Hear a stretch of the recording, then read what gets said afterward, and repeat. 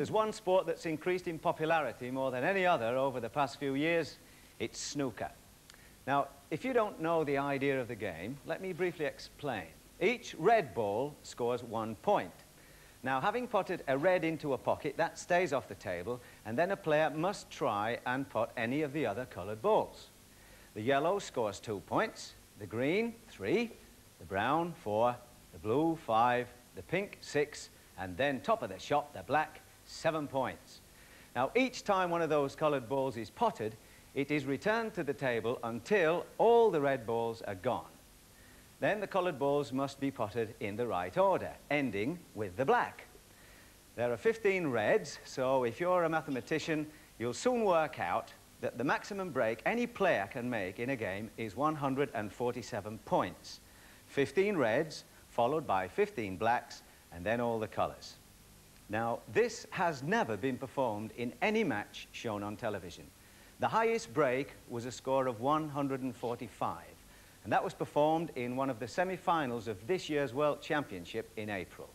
And this is how the 36 balls were potted.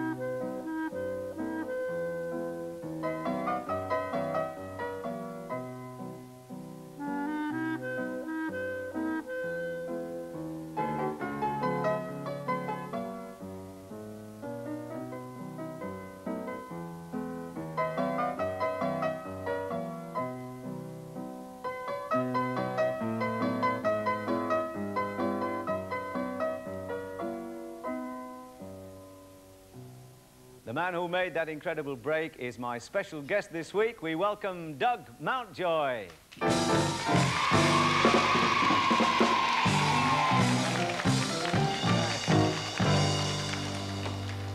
Well, welcome to the Record Breakers, Doug, and congratulations on that's the biggest break ever seen on television, isn't it? Yes, it's true, yeah. Yeah, yeah. How did you feel uh, when you realized that perhaps this break was on?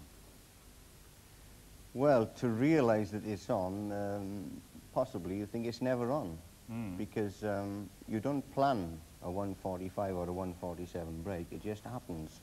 Obviously, coming around the 70 and the 80 mark, I could see that it was there. Yeah. Now, on reflection, what do you think about that one blue? Well, I've been asked that uh, several times. In actual fact, I could have played for the black by taking a, a difficult red with the rest. Mm. But I, I, I didn't feel as if I should take the chance as the frame was more important to me Mhm. than the break. So when did you start playing snooker? 12. Young, 12. And did you play with, uh, like, small cues on smaller tables? Or No, no, I didn't. I played in a full-size table from, from the off. From being 12? Yeah. You eventually turned professional. When was that? Five years ago. Yeah.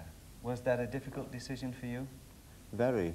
I have a wife and family, and uh, I didn't really know whether I was going to make it. I, I don't think anyone knows. It's, it's a, a gamble, but uh, I'm glad I, I took that gamble, you know. So you are happy Yeah. about all that? Oh, yeah.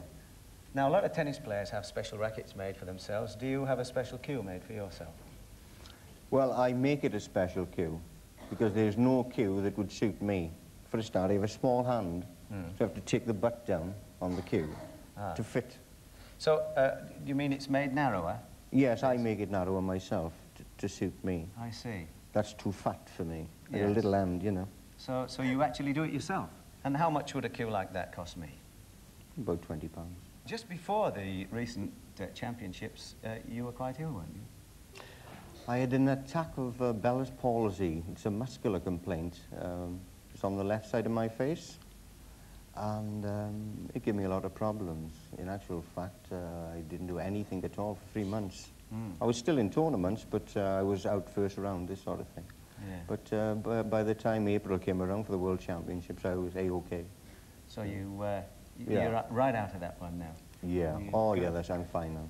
Yeah. Mm. Now, what about all these trick shots that uh, you, you sometimes play at exhibitions? Well, we all play trick shots. Most of the uh, professionals, you know, uh, you play around the circuit exhibition and uh, you finish off with uh, trick shots. Are You're going to show us a few? Yes, pleasure. Right. This time then black, around the reds and into the pocket.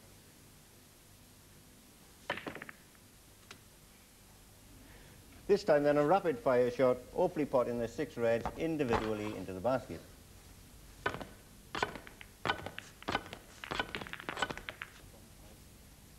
And then white into the black, sending the white up to knock the red off the top of the bottle. Great. yeah, yeah, good one. Nice little shot this time, white over the line of reds and into the basket.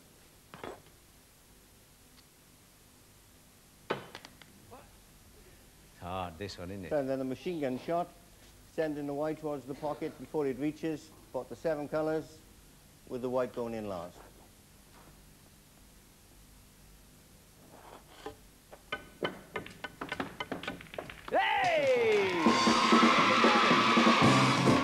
Dedication, dedication, dedication, that's what you need.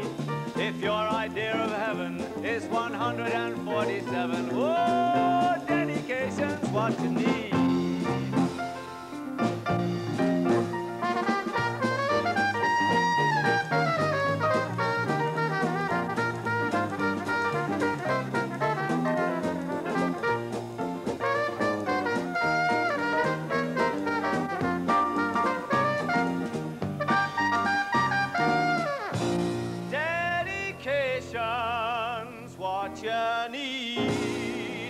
If you want to be a snooker playing record breaker, wee, wee, wee.